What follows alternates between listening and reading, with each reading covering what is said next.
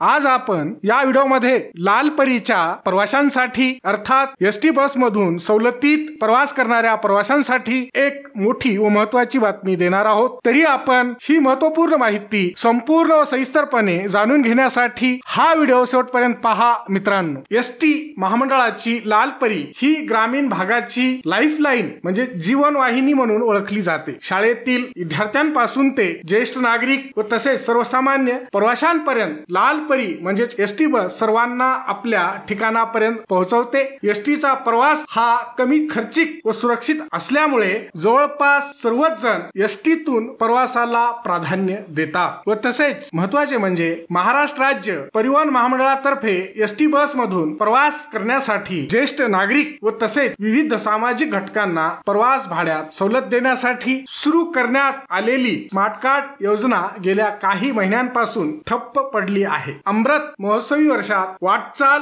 करणारे राज्य परिवहन महामंडळ म्हणजेच एस टी महामंडळ एकोणतीस विविध सामाजिक घटकांना तेहतीस टक्क्यांपासून ते शंभर टक्क्यांपर्यंत एस टी बस प्रवासी भाड्यामध्ये सवलत देते. यामध्ये ज्येष्ठ नागरिक महिला स्वातंत्र्य संग्राम सैनिक व त्यांच्या विधवा दिव्यांग खेळाडू पत्रकार विविध पुरस्कार प्राप्त समाजसेवक व रुग्ण आदींचा सवलतीसाठी पात्र ठरलेल्यांमध्ये समावेश आहे. मात्र एस टी मध्ये प्रवासांची सवलत घेणाऱ्यांसाठी त्यांना त्यांचे ओळखपत्र आधार कार्ड मतदार ओळखपत्र वयाचा पुरावा यापैकी एक एस टीच्या वाहकाला दाखविणे आवश्यक आहे. चार वर्षापूर्वी एस टी महामंडळाने या सर्व ओळखपत्रांना बाजूला करत स्मार्ट कार्ड योजना सुरू केली होती व तसेच एस टी महामंडळाने तिकिटात सवलत हवी असल्यास स्मार्ट कार्ड बंधनकारक राहील असे जाहीर देखील केले होते. हे एकच स्मार्ट कार्ड सर्व प्रकारच्या तिकीट सवलतीसाठी पात्र राहील असेही महामंडळाकडून सांगण्यात आले होते व तसेच स्मार्ट कार्ड तयार करण्यासाठी म्हणजेच स्मार्ट कार्ड काढण्यासाठी एकतीस मार्च दोन हजार तेवीस ही अखेरची तारीख देण्यात आली होती. त्यामुळे तिकीट सवलतीचा लाभ घेणाऱ्या प्रवाशांनी व ज्येष्ठ नागरिकांनी मागे